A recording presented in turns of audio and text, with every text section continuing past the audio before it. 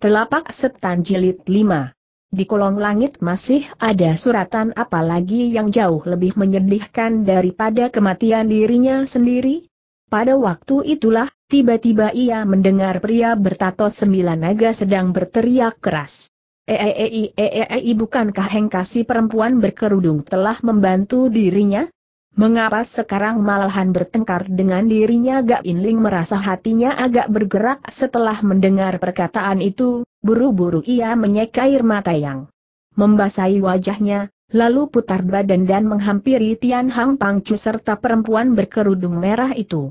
Terdengar gadis baja merah itu sedang berkata dengan suara yang amat dingin. Anak murid perkumpulanmu sering kali melewati batas wilayah dan mencelakai jiwa anak murid kami, sekarang malah engkau menuduh diriku, HMM, aku benar-benar tak bisa mengerti bagaimana caranya engkau sebagai seorang ketua mendidik serta menguasai anak buah, Tian Hang Pangcu segera tertawa dingin. Apakah engkau memaksa aku untuk mengambil beberapa contoh yang bisa dijadikan sebagai bukti serunya? Tentu saja aku harus mencari bukti yang nyata ei, eh nanti dulu, jangan ribut dulu selagak Inling berusaha melerai. Kemungkinan besar di antara kalian memang sudah terjadi suatu kesalahpahaman, gadis berkerudung merah itu sama sekali tidak melirik ke arah Gak Inling barang sekejap pun, hardiknya dingin, siapa engkau?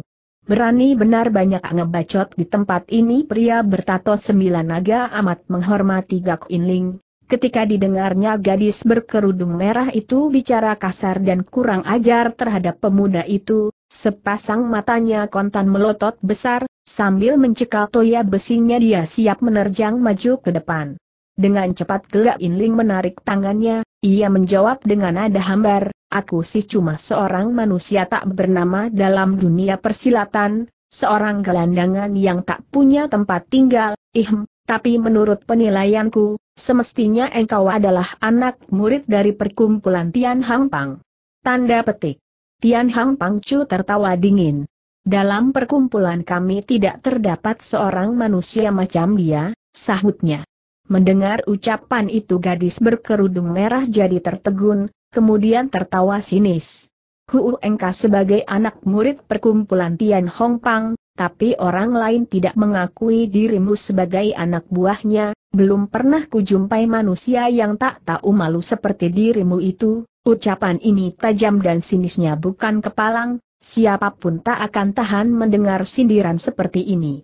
Pria bertato sembilan naga tak dapat menahan diri lagi, sambil meraung keras, gembornya. Kau ini macam apa? Maknya, dianggapnya kepandaian silat yang kau miliki jauh lebih lihai daripada dirinya saudara, harap tutup mulut cegah Gak Inling dengan cepat, sorot matanya segera dialihkan ke arah gadis baju merah itu, kemudian menambahkan lebih jauh. Mungkin saja aku adalah seorang manusia yang paling tak tahu malu di kolong langit, tapi setiap patah kata yang kuucapkan adalah kata-kata yang sejujurnya.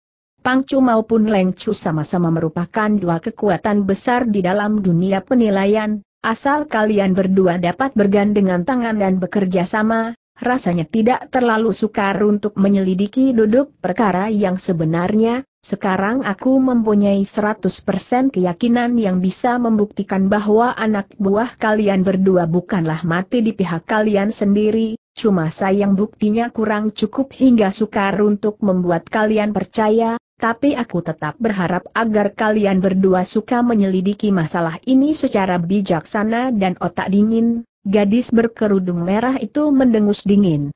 Hektometer siapakah namamu, cepat katakan. Hawa gusar terlintas di wajah Gak Inling, akan tetapi ia tetap bersabar diri. Aku bernama Gak Inling jawabnya. Oh oh, oh jadi engkau yang bernama Gak Inling seru gadis berkerudung merah ITN dengan wajah tertegun sorot matanya tanpa terasa menyapu wajah pemuda itu tajam-tajam, kembali pikirnya, hai, tampan juga wajahnya, Lengcu, bukankah engkau sedang mencari diriku ujar pemuda itu lagi dengan suara hambar.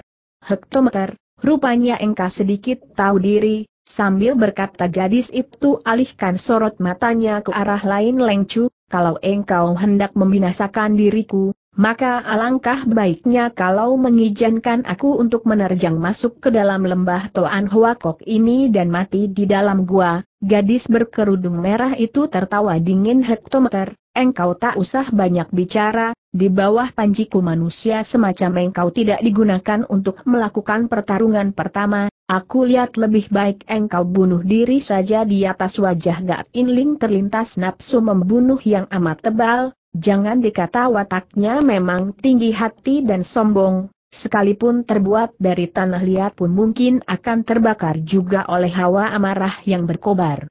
Gak Inling tak pernah menyangka maksud baiknya untuk memikirkan keselamatan dunia persilatan ditukar dengan sindiran tajam yang begitu sinis sehingga membuat ia tak bisa menahan diri lagi.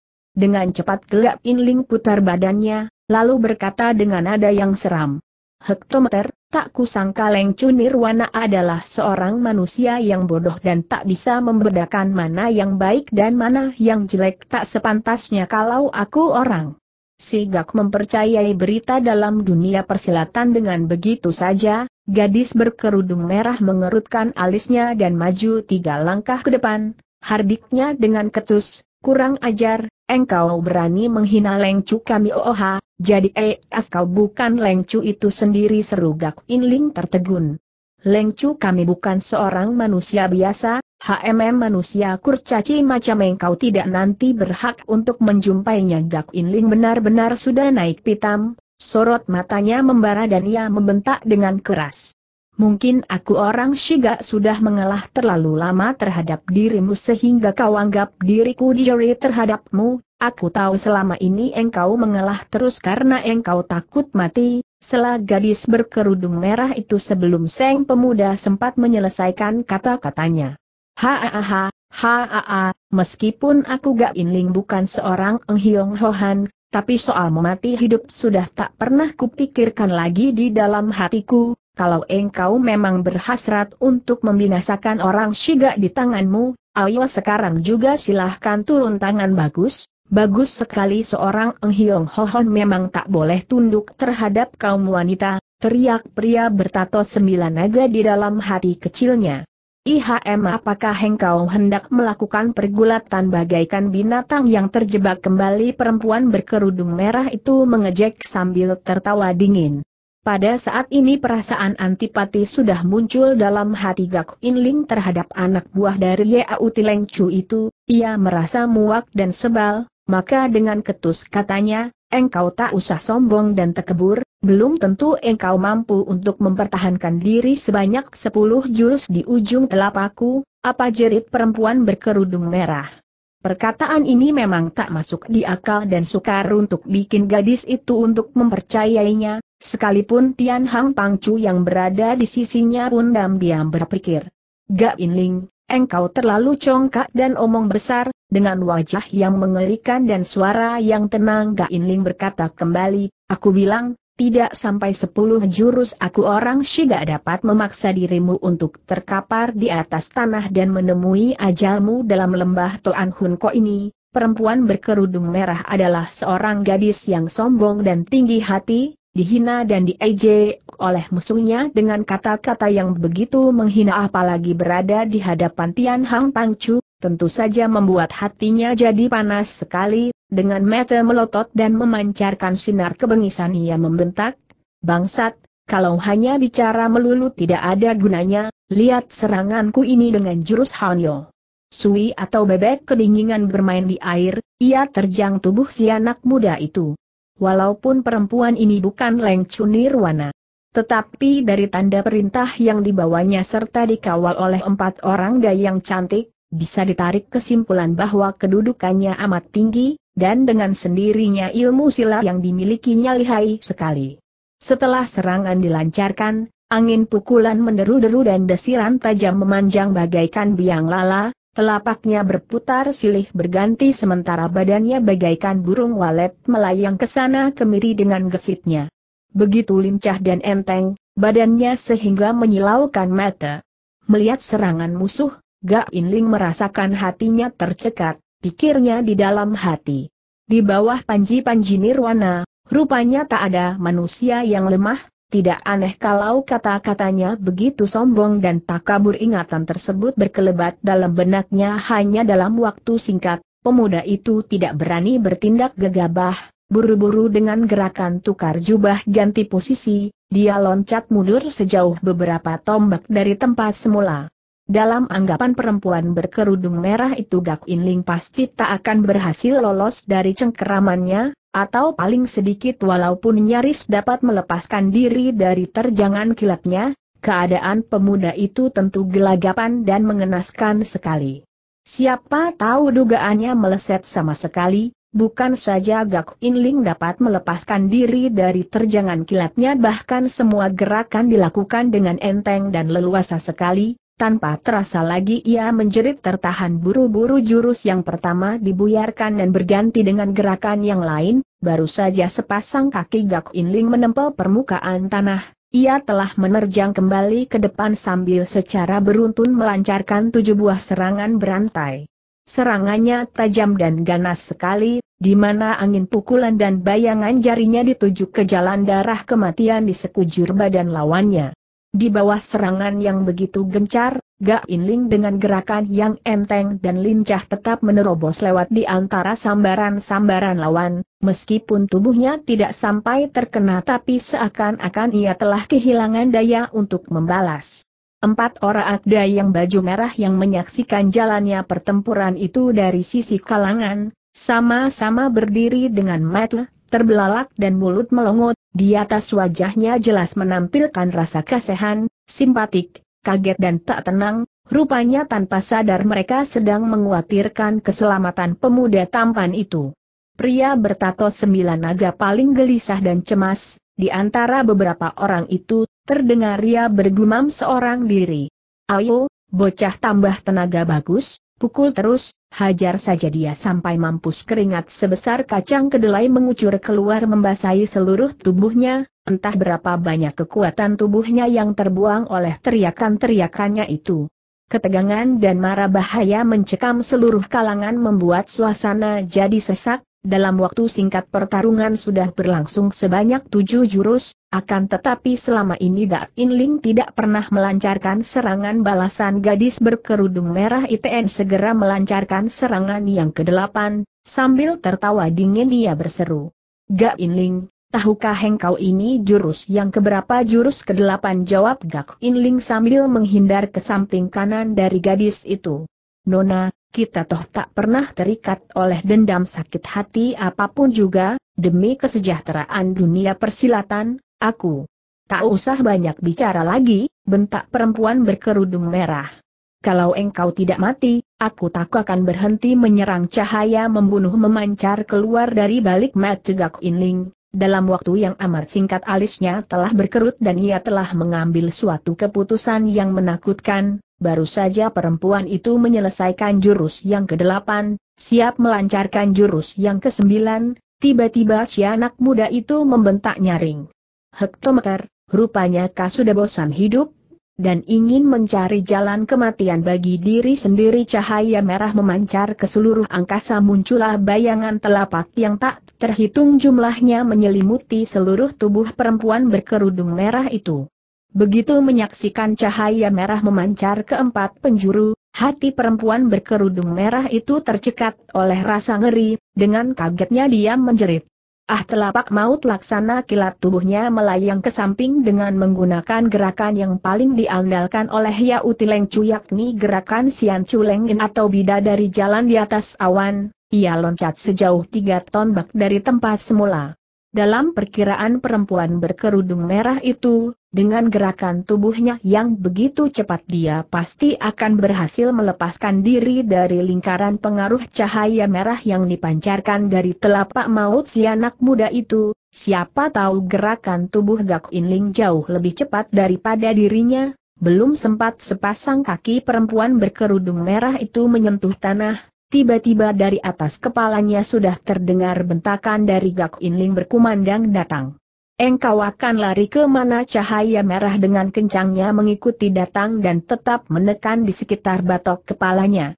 Mendengar bentakan itu perempuan berkerudung merah tadi semakin terkesiap dia tahu bahwa selembar jiwanya sudah tergenggam dalam cengkeraman malaikat maut, pikirannya jadi kacau dan timbullah keinginan untuk mempertahankan hidupnya, membuat darah itu tanpa sadar melancarkan sebuah pukulan yang dahsyat ke depan nampaklah sepasang, telapak Gak Inling yang berwarna merah darah sudah makin mendekati batok kepala perempuan berkerudung merah itu, dan rupanya sebentar lagi dia akan menemui ajalnya.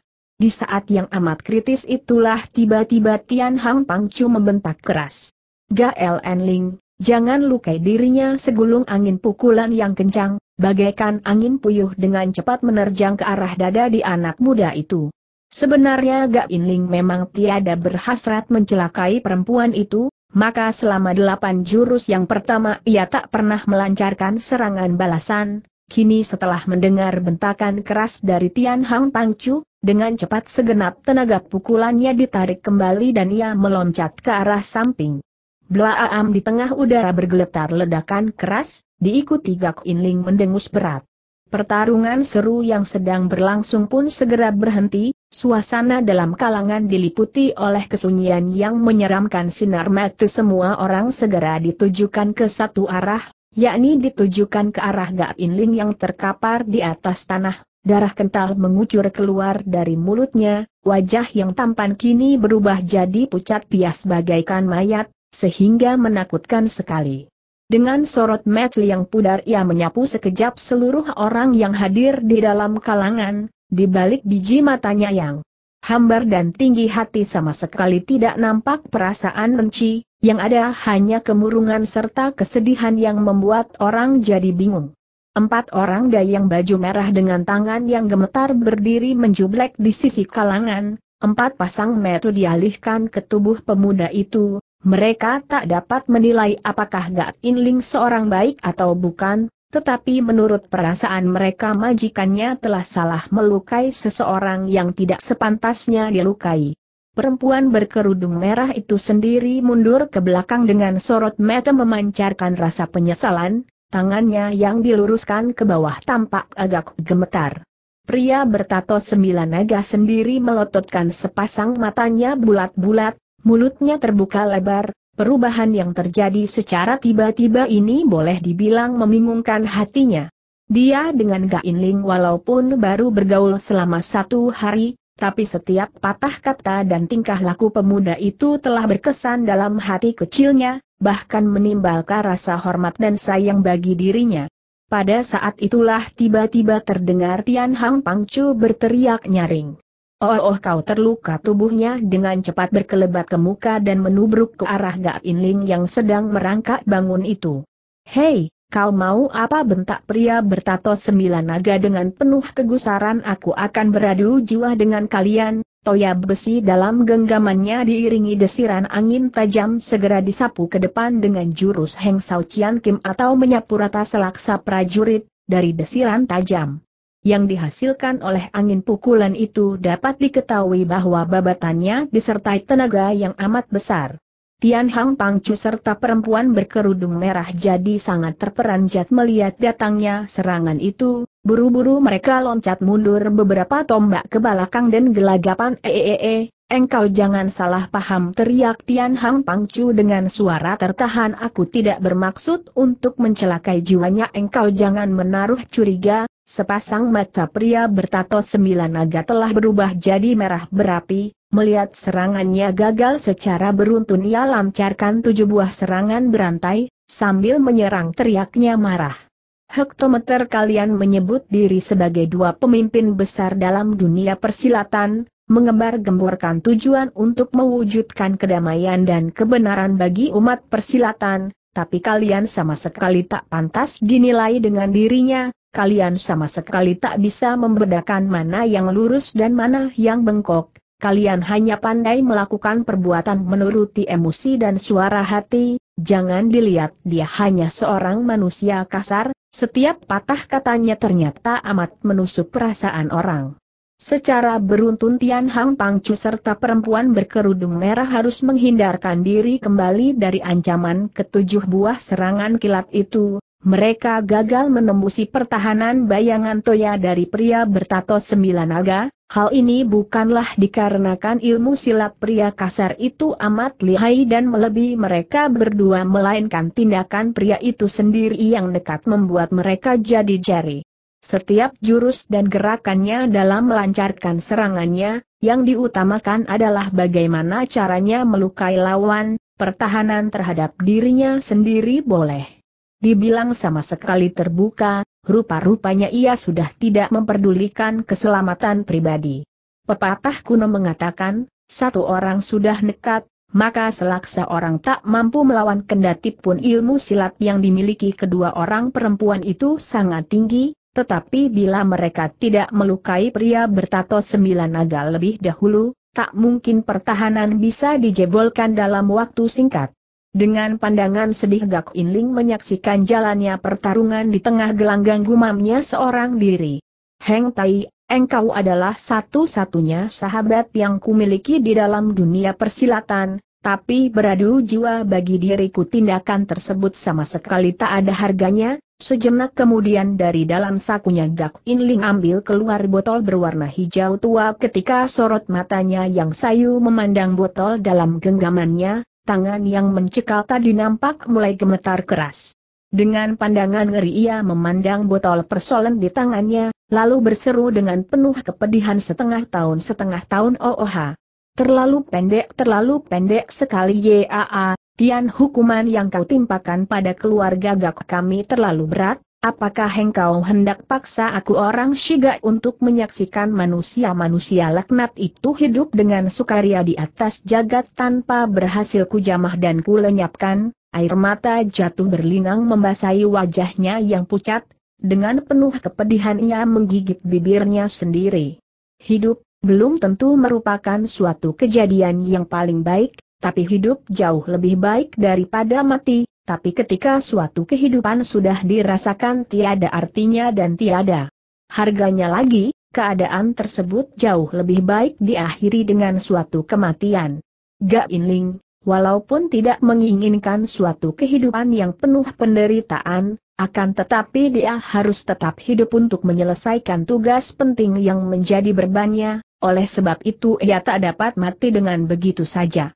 Perlahan-lahan Gak Inling membuka penutup botol persoalan itu dan mengambil keluar sebutir pil berwarna hijau tua, kemudian obat tadi dimasukkan ke dalam mulutnya. Tian Hang Pangcu walaupun selama ini selalu berusaha untuk menghindarkan diri dari serangan-serangan maut dari pria bertato sembilan naga, namun pikirannya sama sekali tertuju ke arah pemuda itu. Apa yang dilakukan Gak Inling dapat dilihat olehnya dengan jelas, hampir saja jantungnya copot karena kaget, tak tertahan lagi ia berteriak nyaring.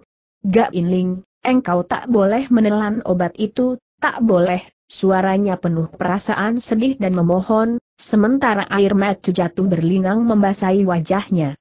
Mendengar jeritan itu, perempuan berkerudung merah tadi pun melirik sekejap ke arah Gak Inling, setelah melihat obat yang ditelan dia pun menjerit tertahan ah pil cui simuan pil cui simuan pria bertato sembilan naga panter peranjat, tanpa sadar jurus serangannya pun makin menggendor.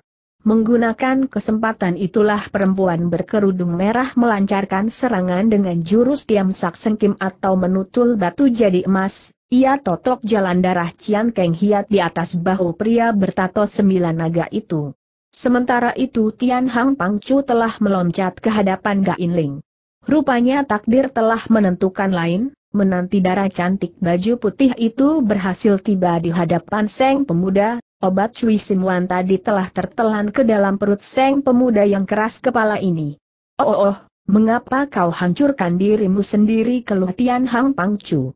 Dengan pandangan dingin Ga Inling menyapu sekejap ke arahnya kemudian perlahan-lahan memejamkan matanya, ia sama sekali tidak menggubris ucapan gadis itu. Napas Ga Inling yang memburu perlahan-lahan jadi tenang dan teratur kembali, wajahnya yang pucat kini pun sudah berubah jadi semu merah, dari luaran ia nampak sudah sembuh kembali, tapi dalam kenyataan kesegaran tersebut diperoleh seakan-akan seorang pemadat yang baru saja menghisap candu. Keheningan dan kesunyian mencekam seluruh kalangan, begitu sepi sehingga setiap orang dapat mendengar detak jantungnya sendiri. Dalam keadaan begini Tian Hang Pangcu serta perempuan berkerudung merah telah melupakan perselisihan mereka, seluruh pikiran dan perhatian mereka telah ditumpahkan ke tubuh Gak Inling. Suasana yang sesak kian mencekam seluruh jagat, membuat lembah Toan Hun Kok berubah jadi sepi sesunyi kuburan tanpa terasa waktu berlalu dengan cepatnya akhirnya Gak Inling menghela napas panjang dan membuka matanya kembali, sosot matanya memancarkan kemurungan dan kepedihan Tian Hoak Pangcu segera maju ke depan, tegurnya. Kau-kau apakah kau dalam keadaan baik Gak Inling loncat bangun dari atas tanah wajahnya yang tampan diliputi keketusan dan kehambaran, ia sapu sekejap wajah kedua orang darah itu kemudian berkata dengan dingin. Mungkin kalian berdua merasa kecewa bukan apa yang kami kecewakan tanya perempuan berkerudung merah tanpa berpikir panjang. Kecewa karena aku tidak mati apakah engkau mengira bahwa kami mengharapkan engkau lekas mati tanya Tian Hang Pangcu dengan sedih.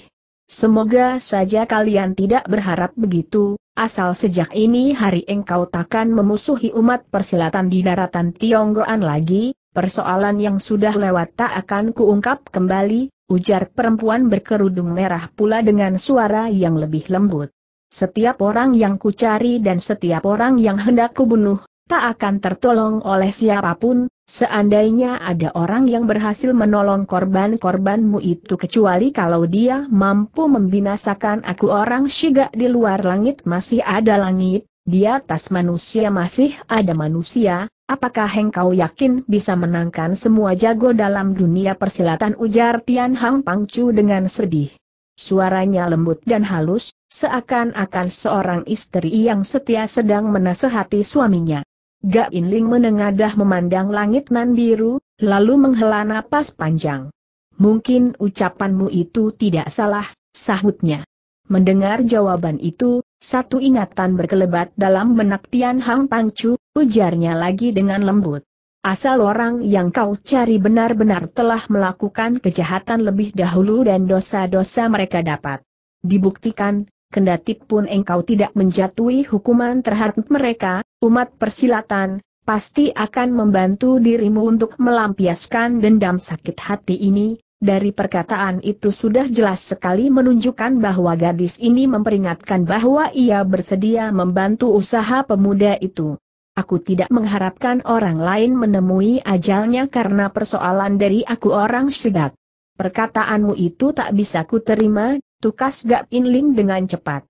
Dari mana engkau bisa tahu kalau orang lain akan menemui ajalnya karena persoalanmu itu tanya perempuan berkerudung merah. Karena orang-orang yang hendak ku cari itu memiliki kepandaian silat yang sangat tinggi, di antara mereka yang paling lemah pun memiliki ilmu silat yang seimbang dengan kepandaianku, ucapan ini dengan cepat mengejutkan hati dua orang gadis itu, mereka pernah menyaksikan sendiri sampai di manakah taraf kepandaian silat yang dimiliki Gak Inling. Seandainya apa yang dia ucapkan tidak salah maka kendati pun segenap kekuatan inti yang ada dalam dunia persilatan dihimpun menjadi satu belum tentu bisa membantu usaha pemuda itu. Setelah berpikir sebentar, Tian Hang Pangcu bertanya kembali. Bagaimana dengan mereka yang berilmu silat paling tinggi ilmu silat yang dimilikinya jauh di atas kepandaian yang kumiliki, kalau dicarikan perbandingannya maka bagaikan sinar rembulan dan cahaya kunang-kunang, tiba-tiba perempuan berkerudung merah itu teringat kembali akan lengcunya yang memiliki ilmu silat amat tinggi, dengan gelisah segera tanyanya. Siapakah mereka? Asal engkau sebutkan nama-namanya, mungkin saja ada orang yang mampu menangkan mereka tertegun hati Gak Inling setelah mendengar perkataan itu, ia sadar dirinya telah terlanjur bicara, air mukanya segera berubah hebat dan katanya dengan tawar. Semoga saja dalam setengah tahun kemudian kita jangan sampai bertemu lagi, sebab bila sampai terjadi pertarungan lagi maka belum tentu aku akan mengalah seperti apa yang kulakukan pada saat ini. Habis berkata ia segera berjalan menuju ke arah mulut gua di mana Hiat Moong melenyapkan diri.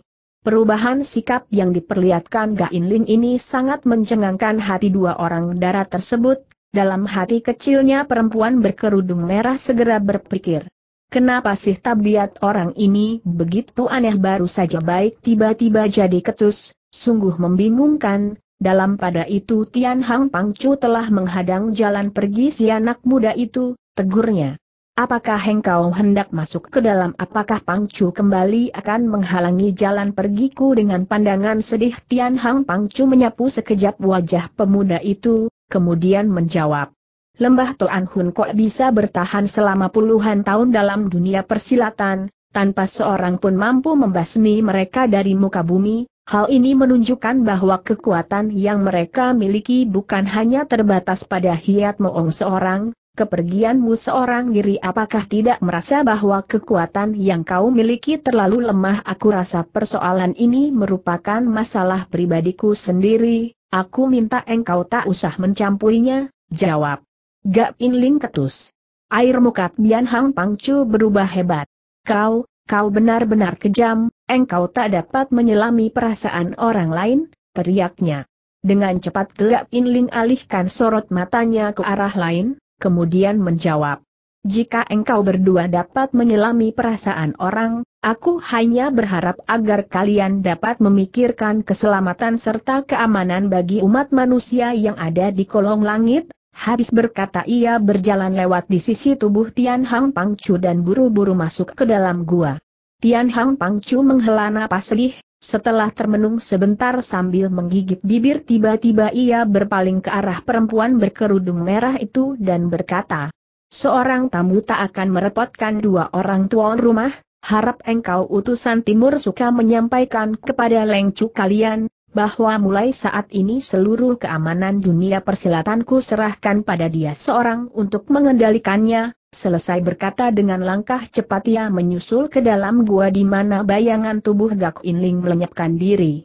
Dengan wajah kaget dan tertegun perempuan berkerudung merah itu berdiri menjublek di tempat semula, pikirnya, ucapan itu kenapa harus aku yang sampaikan Sabtu ingatan berkelebat dalam benaknya, sambil menuding ke arah pria bertato sembilan naga pesannya kepada keempat orang dayang itu. Setelah membebaskan jalan darah orang itu kalian segera pulang ke gunung dan lapor kepada Lengcu, katakanlah andai kata di dalam tiga hari aku utusan timur belum kembali. Juga, itu berarti sejak detik ini utusan timur sudah tak dapat melayani Lengcu lagi, selesai berkata ia segera lari masuk ke dalam gua itu pula. Hati perempuan memang sukar diraba. Sementara itu, setelah Gak Inling masuk ke dalam gua, ia merasa ruang dalam gua tadi luas sekali, dindingnya terbuat dari batu dan licin bagaikan cermin, jelas tempat itu bukan gua alam tapi dibuat oleh tenaga manusia. Setelah berbelak-belok beberapa kali dan kurang lebih sudah mencapai 3-40 tombak dalamnya, Gak Inling masih belum berhasil menemukan suatu ruangan, Hal ini membuat hatinya amat terkejut. Pada saat itulah mendadak dari dalam gua berkumandang datang suara pembicaraan manusia, terdengar seseorang yang bersuara serak sedang berkata. Menurut cahaya Seng Surya seharusnya harusnya sekarang sudah mendekati tengah hari, kenapa belum nampak ada yang mengirim nasi? Apakah mereka hendak siksa kita sampai mati karena kelaparan sekalipun mereka benar-benar akan menyiksa kita sampai mati kelaparan? Apa yang dapat kau katakan sambung seorang yang lain dengan nada dingin? HMM mereka berani kenapa tidak berani? Meskipun dahulu engkau Tok Seng Nabi bisa Kong Sun Tzu pernah menggemparkan dunia persilatan, namun pada saat ini kau masih berada dalam genggamannya, Sekalipun bocah yang berumur tiga tahun pun takkan jeri terhadap dirimu rupanya orang yang pertama tadi dibikin gusar oleh ucapan tersebut, terdengar ia meraung dengan gusar. Leng Impocu, apakah engkau ingin merasakan kelihayanku? Hektometer, engkau kira aku dijeri terhadap dirimu jawab Leng Impocu sambil mendengus dingin tiba-tiba suara yang lain berkumandang menengahi percekcokan itu. Omi Tohut selama banyak tahun Sicu berdua bukan hanya berkelahi satu kali saja, tapi menang kalah, selalu tak bisa ditentukan, apa sih gunanya membuang tenaga lagi dengan percuma rupanya si Nabi Racun Kong Sun Chu adalah seorang manusia yang tidak pakai aturan, dengan cepat dia menyambung kembali. Benar, Benar, Buddha Antik, selama banyak tahun aku belum pernah bergebrak melawan dirimu. Mari, mari kita adu kepandaian, coba lihat siapa yang lebih unggul di antara kita, aku menyadari bahwa kepandaianku masih belum mampu menangkan diri si Chu, jawab orang yang disebut Buddha Antik itu Ei, kamu tak usah khawatir, aku akan tetap menggunakan peraturan lama, tak akan aku gunakan jurus racun, semuanya pakai jurus murni, seru Nabi racun lagi. Ketika Gak Inling mendengar bahwa di dalam gua itu terdapat juga si Buddha antik yang paling dibenci, darah panas seketika bergelora dalam rongga dadanya, dengan langkah yang lebih cepat lagi dia mendekati ke arah berasalnya suara tadi. Tiga buah tikungan kembali sudah dilewati akhirnya setelah berjalan beberapa saat lamanya sampailah pemuda itu di suatu tempat yang terbuka, sebuah ruang batu seluas 20 tombak lebih muncul di depan mata. Pada sisi kanan ruang batu itu terdapat sebuah lorong yang entah menghubungkan. Tempat itu dengan mana, sedang suara pembicaraan ia bergema tadi berasal dari dalam sebuah dinding batu berwarna putih yang ada di sebelah kanan Gak Inling sama sekali tidak ragu-ragu. Dengan langkah yang cepat ia berjalan menuju ke samping kiri. Tiba-tiba, Gak Inling, apakah kau sudah bosan hidup dan kepingin cari kematian buat diri sendiri suara teguran seseorang berkumandang memecahkan kesunyian apa yang dipikir dan diperhatikan Gak Inling pada saat ini adalah menemukan persembunyiannya Buddha antik, ketika secara tiba-tiba namanya disebut orang hatinya jadi amat terperanjat. Dengan cepat ia putar badan sambil silangkan telapaknya di depan dada siap menghadapi segala kemungkinan yang tidak diinginkan. Ketika sorot matanya dialihkan ke arah mana berasalnya suara tadi, terlihatlah Tian Hang Pang Chu serta perempuan berkerudung merah telah berdiri berjejer kurang lebih lima depa di hadapannya. Gak Inling segera tertawa dingin dan menegur. Kedatangan kalian berdua apakah dikarenakan aku orang Shiga sedikit pun tidak salah jawab Tian Hang Pangcu sambil mengangguk. Apakah di antara kita bertiga harus diputuskan lebih dahulu siapa yang berhak melanjutkan hidup dan siapa yang pantas menemui ajalnya seru pemuda itu lagi sambil tertawa dingin. Apakah maksudmu, selain percekcokan dan perkelahian, di antara kita sudah tiada urusan lain lagi bantah Tian? Hang Pangcu dengan wajah yang sedih. Sambil bicara dari pancaran matanya terlintaslah rasa murung dan kesal. Gak Inling bukan seorang tolol ataupun bodoh, sudah tentu ia dapat menangkap arti dari perkataan itu, tetapi berada dalam keadaan seperti ini ia tetap berlagak pilon seolah-olah sama sekali tidak paham dengan maksud perkataan itu. Dengan cepat pokok pembicaraan dialihkan ke masalah lain, ujarnya dengan hambar kalau memang kedatangan kalian berdua bukanlah mencari aku orang Shiga guna bertarung, aku harap kamu berdua segera tinggalkan tempat ini, masa depan dunia persilatan tergantung di atas bahu kalian berdua, menempuh bahaya karena urusan yang begini sepele sama sekali tak ada harganya bagi kalian berdua, selesai berkata tanpa menantikan jawaban lagi ia segera berjalan menuju ke dinding batu sebelah kiri. Engkau hendak menjebolkan dinding batu itu seru perempuan berkerudung merah tanpa terasa. Sedikit pun tidak salah tahukah engkau siapa saja yang terkurung di dalam ruangan gua batu itu Gak Inling menghentikan langkahnya kemudian menjawab. Nabi racun Kong Sun Tu, Leng In Po Ocu dan Buddha Antik, ketika mengucapkan nama Buddha Antik, suaranya sengaja diperkeras dan diperberat. Pernahkah engkau mendengar kata-kata yang berbunyi nabi racun mengejutkan kolong langit, pedang lengnen bagaikan malaikat serutian Hang Pangcu kembali. Mendengar perkataan ini Gak Inling hatinya terjelos, pikirnya di dalam hati. Mungkin aku akan menemui suatu kesulitan yang besar sekali. Walaupun dalam hati ia mempunyai pendapat demikian, tetapi perasaan tersebut tidak sampai diutarakan keluar, dengan suara hambar ia hanya berkata, Ucapanmu itu memang sangat mengejutkan hati orang, tetapi bagaimanapun juga ruangan ini harus dijebolkan sekalipun Tian Hang Pangcu belum terlalu lama berkumpul dengan Gain Ling, akan tetapi dia sudah memahami sifat serta tabiatnya, ia mengerti apa yang telah diucapkan oleh si anak muda itu pasti akan dilakukan olehnya, Dengan cepat darah cantik baju putih itu meloncat ke hadapan pemuda itu sambil serunya dengan suara berat. Gak Inling, perkataanmu selalu menggembar-gemborkan demi kesejahteraan dan keamanan umat persilatan di daratan Tionggoan, tapi pernahkah engkau berpikir apa akibatnya andai kata Nabi Racun Kong Sun dilepaskan dari kurungan itu Gak Inling tertegun, ia tak pernah mempertimbangkan akibat dari perbuatannya itu. Sudah tentu hal ini disebabkan karena ia masih belum tahu bagaimanakah watak serta tabiat dari Nabi Racun Kong Sun Chu itu sendiri. Gak Inling berdiri tertegun dan lama sekali tidak mengucapkan sepatah kata pun, pada saat itu suasana ruang dalam pun sunyi senyap dan tak kedengaran suara apa pun, jelas pembicaraan di antara mereka telah tercuri dengar oleh orang-orang itu. Gak Inling memandang sekejap ke arah dua orang gadis itu, seakan-akan sedang berkata terhadap mereka, ia bergumam seorang diri. Tetapi Buddha antik berada di dalam, bagaimana juga aku harus masuk ke dalam. Menyaksikan si anak muda itu sudah tergerak hatinya oleh perkataannya, Tian Hang Pangcu melanjutkan kembali kata-katanya.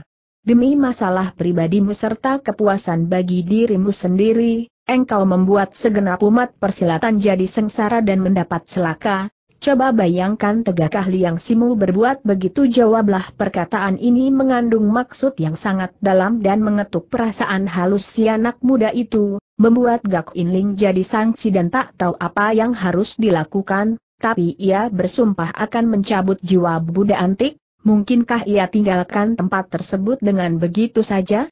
Antara kepentingan umum dan kepentingan pribadi, antara dendam dan cinta telah menyulitkan pemuda angkuh Shiga ini, dalam benaknya segera muncul pelbagai ingatan serta pikiran yang saling bertentangan, ia mulai merasakan kebingungan, kebimbangan dan kekacauan pada saat itulah dari balik dinding berkumandang kembali suara terlakan dari Nabi Racun Kong Sun Tu. Hei, manusia yang menamakan dirinya Gak Inling, andai kata engkau mampu melepaskan aku dari tempat kurungan ini, maka aku akan menyanggupi tiga syarat yang kau ajukan jelas manusia racun itu hendak mencengkeram kesempatan baik ini untuk melarikan diri. Sungguhkah perkataanmu itu tanya Gak Inling dengan perasaan hati agak tergerak. Apa itu sungguh atau palsu makin Nabi racun Kong Sun Tu marah-marah. Selama hidup aku Nabi Racun belum pernah mengucapkan kata-kata yang palsu ataupun membohongi orang lain, Gak Inling yang dasarnya memang tidak mengenali orang itu tentu saja tidak memahami watak serta tingkah lakunya. Sepasang matanya yang jeli tanpa terasa dialihkan ke arah Tian Hang Pangcu dengan sorot penuh selidik. Walaupun selama hidup Nabi Racun Kong Sun Tu tak pernah berbohong dan menipu orang lain, tetapi manusia ini licik dan sangat berbahaya, ujar Tian Hang Pangcu dengan sedih. Andai kata engkau lepaskan dirinya, maka ia akan memperlihatkan permainan setan kepadamu. Setelah mengetahui bahwa Nabi Racun Kong Santu tak pernah berbohong, satu ingatan dengan cepat berkelebat dalam benak Gak Inling tegurnya ke arah balik dinding. Syarat macam apakah yang engkau sanggupi asal aku mampu melakukan serta mengerjakan pasti akan kupenuhi, tapi engkau tak boleh minta aku untuk mati Kongsun tu manusia yang ahli dalam penggunaan racun memang lihai sekali dalam melakukan semua pekerjaan, sebelum terlanjur ia telah mempersiapkan jalan mundur bagi diri sendiri. Baik, kita putuskan dengan janji ini, jawab Gak Inling sambil mengangguk, Selesai berkata ia siap menghantam dinding ruangan tersebut. Gak Inling, sebelum bertindak aku harap engkau suka mempertimbangkan lebih dahulu tentang keamanan serta keselamatan sendiri ajar Tian Hang Pangcu lagi dengan penuh perhatian Gak Inling seketika merasakan perasaan hatinya jadi hangat sekali, tapi ketika teringat olehnya bahwa kehidupan selama setengah tahun dengan cepatnya akan berakhir dan pada saat itu semua kehangatan akan musnah, ia jadi murung dan kesal kembali, sambil tertawa hambar katanya. Sekarang dia sedang membutuhkan bantuan dariku, aku percaya perbuatannya tidak akan sampai merugikan diriku. Tetapi andai kata mereka sudah kau lepaskan dari kurungan dan pada saat itu mereka sudah tiada lagi yang diharapkan lagi darimu, bagaimana keadaannya sambung perempuan berkerudung merah dari samping. Gak Inling tertawa. Sebelum mereka terlepas dari kurungan, akan kubicarakan syarat-syarat tersebut lebih dahulu jawabnya. Dalam pada itu Nabi Racun Kong Sun Tu telah berseru kembali dari dalam ruangan ayoh, cepat apakah engkau tak mampu untuk menjebolkan pintu batu tersebut Gak Inling mengerutkan dahinya, dalam hati ia segera mengambil keputusan dan serunya. Harap kalian berdua suka mengundurkan diri ke samping, dengan menggunakan jurus menyepurata lima bukit, pemuda itu melancarkan sebuah pukulan dahsyat ke atas dinding batu itu. Blaam di tengah ledakan yang amat dahsyat, pasir dan debu beterbangan memenuhi angkasa, sebongkah batu cadas yang keras terhajar hancur dari atas dinding ruangan, Begitu dahsyat dan kuatnya angin pukulan yang dilancarkan Gak Inling itu sehingga muncullah sebuah lubang sebesar tiga depa di tempat itu. Dengan cepat Gak Inling loncat ke muka dan menghadang di depan mulut gua tadi, tiba-tiba tercium bau harum di sisi tubuhnya, ketika ia berpaling tampaklah dua orang nona sudah berdiri di kedua belah sisinya. Tebaran bubuk dinding memusingkan kepala dan mengaburkan pandangan semua orang, pada saat itulah dari dalam ruangan berkumandang suara gelak tertawa Nabi racun Kong Sun Tu yang amat keras. Haa haa haa aku telah bebas, aku telah bebas basah haa. Di tengah gelak tawa yang keras dan memekakkan telinga itu, terbawa pula suara gemerincingnya rantai yang saling beradu. Tian Hang Pangcu serta perempuan berkerudung merah itu segera menengok ke dalam, Tiba-tiba kedua orang gadis itu menjerit tertahan dan loncat mundur ke tempat semula, keadaan mereka bagaikan terpagut oleh ular berbisa. Gak Inling tertegun, dengan cepat ia menengok ke dalam, setelah mengetahui apa yang terjadi sadarlah si anak muda itu. Di dalam ruangan terlihatlah seorang kakek tua berambut putih bermata cekung dan berjenggot panjang terpantek di atas dinding, Dua buah rantai yang amat besar dan kuat menembusi tulang bahunya dan membelenggu kakek itu di dinding batu, pakaian yang dikenakan sudah compang-camping tak karuan sehingga bagian bawahnya boleh dibilang sama sekali tak tertutup. Dengan pandangan yang seksama Gak Inling memeriksa keadaan di sekeliling tempat itu, terlihat olehnya ruang batu itu berliku-liku seperti sebuah lorong rahasia, kalau di ujung lorong tidak terdapat sebuah pintu batu mungkin tempat itu sama sekali tak mirip seperti sebuah ruangan. Bau busuk dan hawa lembab memancar keluar dari ruangan tadi, begitu tak sedap baunya sampai-sampai memuakan sekali. Ketika ia menyaksikan bahwa di tempat itu tiada orang lain, hatinya kaget bercampur heran, setelah sangsi sebentar akhirnya ia melangkah masuk ke dalam ruangan itu. Sejak dinding itu berlubang, dengan pandangan yang tajam kakek itu menatap terus wajah Gak Inling tanpa berkedip menanti pemuda itu melangkah masuk ke dalam ruangan, ia baru berkata sambil tertawa. Selama banyak tahun akhirnya aku berhasil juga mendapatkan kesempatan untuk meloloskan diri. Sikapnya begitu girang dan bangga, seakan-akan Gak Inling memang sudah menolong dia. Gak Inling maju dua langkah ke depan, lalu menegur. Siapakah engkau? Dan siapa namamu di antara tiga orang yang ada di sini? Di mana pula mereka berdua ha ha ha aku adalah Nabi Racun Kong Sun Chu setelah berhenti sebentar ia melanjutkan engkau takut Gak Inling tertawa dingin. Hei hei hei hei jangan dikata badanmu masih dirantai di atas dinding, sekalipun kau sudah bebas merdeka pun aku tak nanti akan jeri terhadap dirimu, Sebentar lagi aku toh akan bebas merdeka seru Keng Sun Chu dengan senyum mengejek. HMM engkau mengira bahwa aku pasti akan menolong dirimu rupanya Nabi Racun Kong Sun Tu sudah menduga kalau Gak Inling pasti akan mengucapkan kata-kata tersebut, bukannya terkejut atau heran dia malah tertawa. Haa, haa aku sudah menduga kalau engkau akan bersikap begitu terhadap diriku Gak Inling terperanjat, Suatu firasa celek terlintas di atas wajahnya, serunya tanpa sadar. Kalau memang begitu engkau tak akan seyakin itu hei bocah cilik aku nabi racun Kong Sun Chu kalau tak mampu mengalahkan dirimu, buat apa aku cari nama dan berkelana dalam dunia persilatan? Seru Kong Sun Tu sambil tertawa dingin. Setelah berhenti sebentar, ia tertawa terbahak-bahak lalu melanjutkan sekarang aku akan memberitahukan dirimu secara terus terang, Di saat dinding batu itu kau jebolkan tadi, tanpa disadari kalian telah keracunan hebat. Gak Inling merasa amat terkejut, tapi dengan cepat sambil tertawa lantang sahutnya. HMM siasat yang kau gunakan memang luar biasa sekali siasat apa siasat benteng kosong jawab Gak Inling sambil tertawa dingin. Mendengar perkataan itu Nabi Racun Kong Sun Chu angkat kepala dan tertawa tergelak. Haa, haa, bocah cilik, kalau engkau tak percaya silahkan mengerahkan tenaga dan mencobanya sendiri. Selama hidup belum pernah kulakukan pekerjaan yang tidak meyakinkan keberhasilannya, Apalagi urusan ini penting sekali, dalam hati kecilnya Gak Inling memang merasa curiga, karena sewaktu menjebolkan dinding tembok tadi ia sama sekali tidak mencium bau yang terasa aneh olehnya, mendengar perkataan itu ia segera menurut dan diam-diam mengerahkan tenaga dalamnya.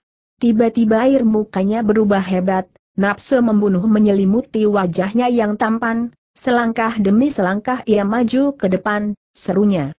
Kong Sun Tu, engkau tak pernah menyangka dengan tindakanmu ini, bukan air muka Nabi racun Kong Sun Tu masih tetap tenang seperti sedia kala, sambil tertawa seram ia menjawab. Bukankah sudah kukatakan, selamanya aku tak pernah melakukan tindakan yang tidak meyakinkan diriku, tindakanmu itu pun sudah berada dalam dugaanku, Gak Inling merasakan hatinya makin tercekat sesudah mendengar perkataan itu. Setelah engkau mati, aku bisa menggeledah isi sakumu sendiri. Hektometer bukankah racun ini bisa kupunahkan kembali hahaha, kalau engkau menginginkan tak usah digeledah lagi, aku akan mempersilahkan engkau untuk memilihnya sendiri, sambil berkata dari balik jubahnya yang robek mencomot sana merogoh kemari, dalam waktu singkat sudah ada 20 botol lebih obat yang beraneka macam dipaparkan di hadapan pemuda itu, katanya.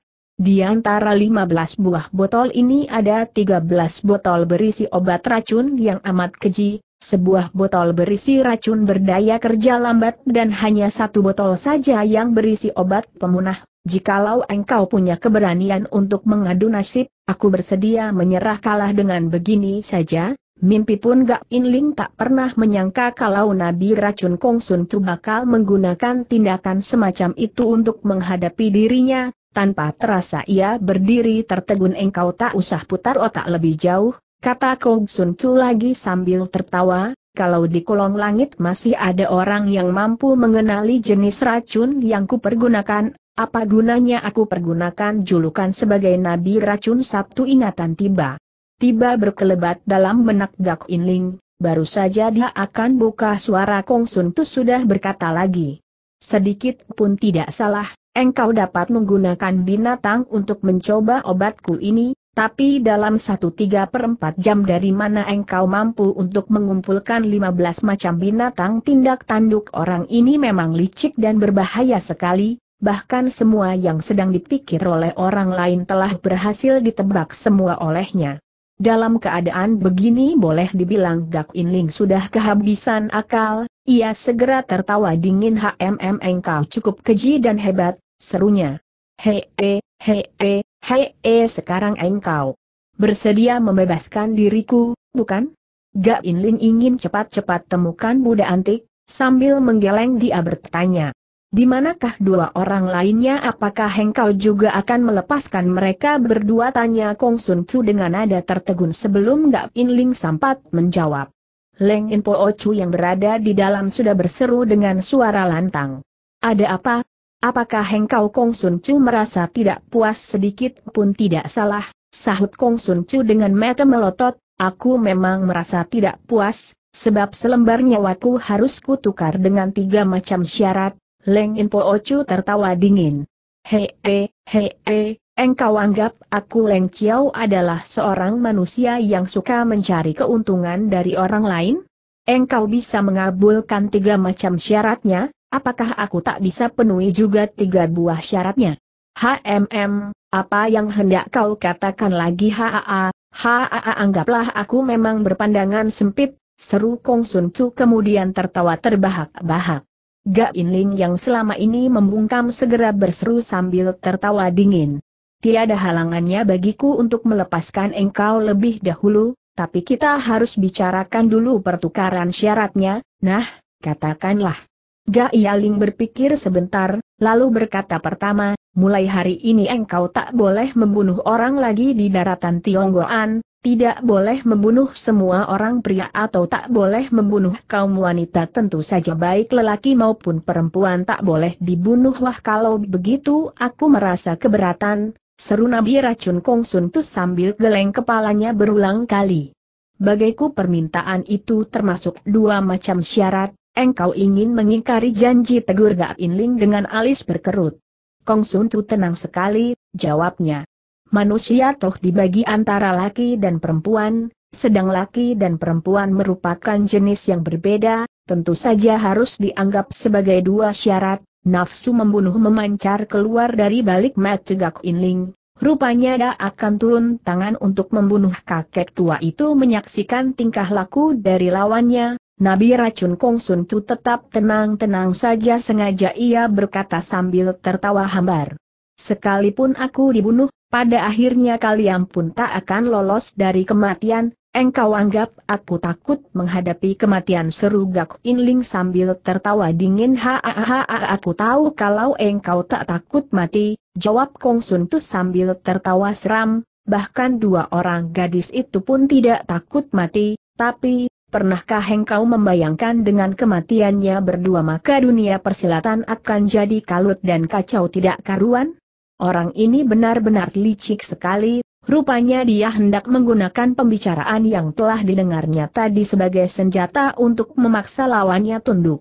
Sedikit pun tidak salah, nafsu membunuh yang menyelimuti wajah Gak Inling perlahan-lahan lenyap tak berbekas, ia menghela napas di dalam hati dan mengangguk. Baiklah, anggap saja sebagai dua syarat HAHA, rupanya engkau bijaksana sekali hebat, Hebat seru Kong Sun Tu sambil tertawa hambar. Gak Inling mendengus. Dingin HMM. Mana? Obat pemunahnya. Engkau toh belum melepaskan diriku, kenapa aku mesti serahkan dulu obat pemunah itu kepadamu? Ingin ku periksa dulu obat pemunah itu cukup atau tidak? Untuk bagian satu orang, aku rasa jauh lebih dari cukup. Untuk tiga orang seru Gak? Inling sambil tertawa dingin. Wah, keberatan. Permintaan sudah melebihi tiga syarat yang kita janjikan. Nafsu membunuh yang menyelimuti wajah Gak? LN Ling muncul kembali di balik sorot metunya, dengan nada yang seram ia berseru. Manusia si Kong Sun, rupanya engkau cari mati sepasang telapak segera diulangkan di depan dada, dan rupanya serangan yang maha dahsyat segera akan dilancarkan sebagai manusia yang licik dan banyak akal setelah meninjau sejenak situasi yang dihadapinya pada saat itu, Nabi Racun Kong Sun Tu menyadari apabila ia tidak menolong kedua orang gadis itu, maka pemuda itu akan mengadu jiwa. Buru-buru serunya dengan nada gelisah.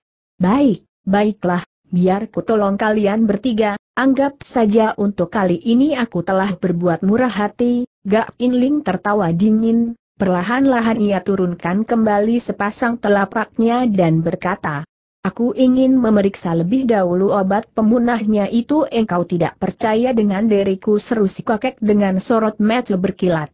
Tentu saja tidak percaya mendengar perkataan itu Nabi Racun Kong Sancu naik pitam, ia mendengus dan berkata, kalau tidak percaya lebih baik mati, sekalipun aku harus mati di dalam gua ini juga tidak akan kuberikan obat pemunah tersebut padamu. Habis berkata ia segera pejamkan mata rapat-rapat melihat kakek itu sudah unjukkan keras kepalanya, dia tahu kalau tidak mengalah maka suasana tak akan beres, maka dia pun berkata, Baiklah, aku orang Shiga bersedia mempercayai dirimu, Sambil berkata ia segera berjalan menghampiri Nabi Racun Kong Sun Tu itu.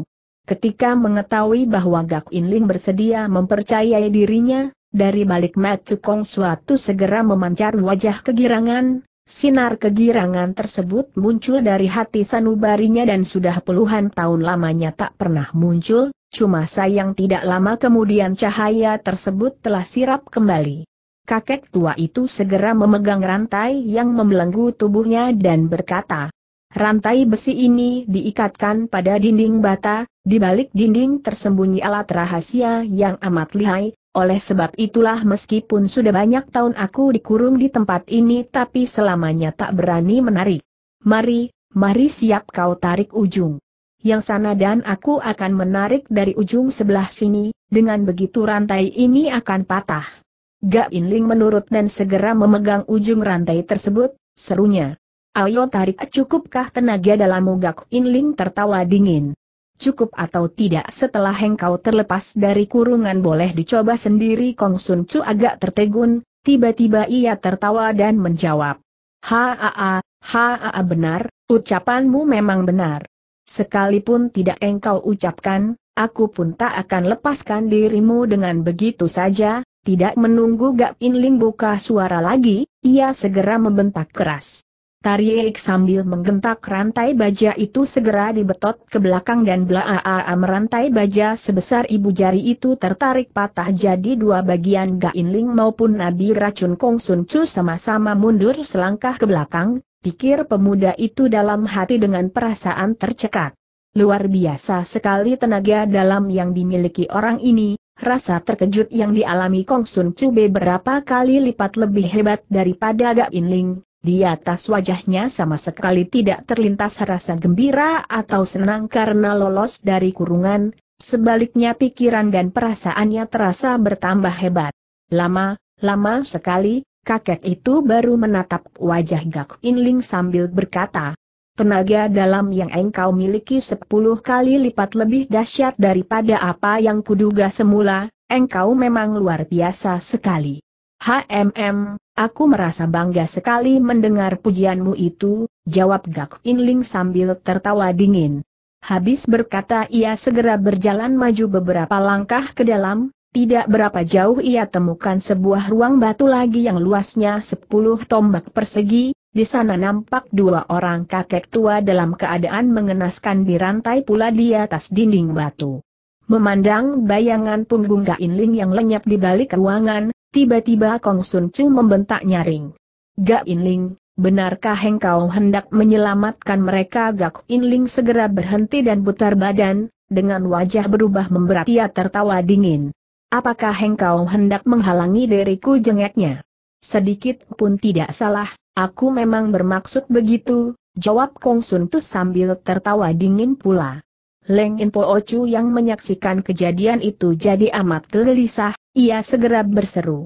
Wah, kalau engkau berhasil bereskan dia badanmu tentu akan bertambah gemuk karena tak usah menepati janji lagi, Leng Heng, ujar Kong Santus sambil tertawa dingin, Sebelum engkau berhasil meloloskan diri, lebih baik kurangilah penggunaan akal licik di hadapanku melihat Kong Sun Tu tak mau masuk perangkap.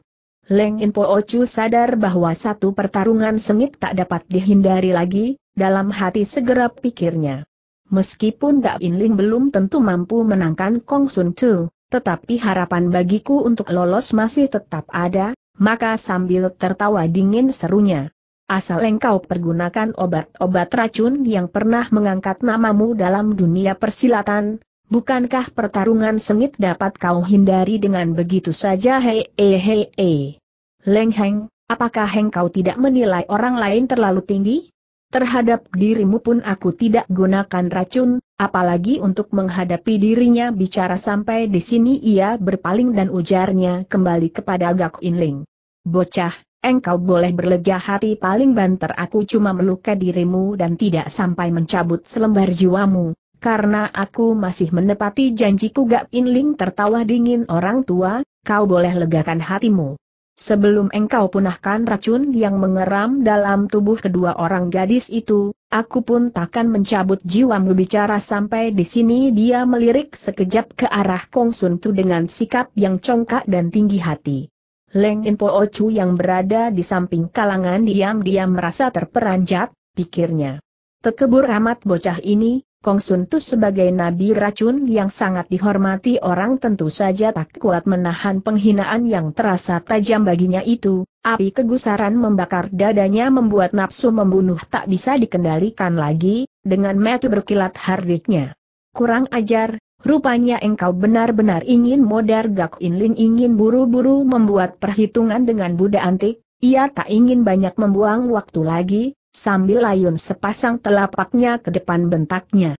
Sambutlah seranganku ini dengan jurus Gan Liok Pengsah atau belibis hinggap di pasir datar, laksana kilatia menotok dada Kong Sun Chu dengan kecepatan yang sukar dilukiskan dengan kata-kata. Pada saat Gak Inling membetot putus rantai besi tadi, Keng Sun Tu sudah mengetahui bahwa tenaga dalam yang dimiliki pemuda itu luar biasa sekali, oleh sebab itulah meskipun dalam pembicaraan ia berlagak seolah-olah sama sekali tak memandang sebelah mata pun terhadap pemuda segak tapi dalam kenyataannya ia sudah mempunyai perasaan was-was yang tinggi terhadap diri musuhnya itu. Maka ketika dilihatnya Gak Inling melancarkan serangan, ia tak berani bertindak gegabah buru-buru dengan gunakan jurus Jian Liong Ki Hang atas menunggang naga naik burung Hang ia loncat mundur sejauh tiga dipa dari tempat semula, tidak menunggu Gak Inling berganti jurus, dengan menggunakan gerakan Liong Hui Hang U atau naga terbang burung Hang menari dia balik menghantam iga kiri pemuda itu.